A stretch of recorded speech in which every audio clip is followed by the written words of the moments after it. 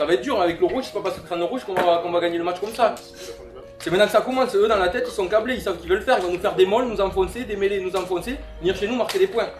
Faut pas les laisser faire, là on tombe dans leur jeu, il a rien qui se passe, mêlée, touche. Faut qu'on se réveille, faut qu'on provoque les choses.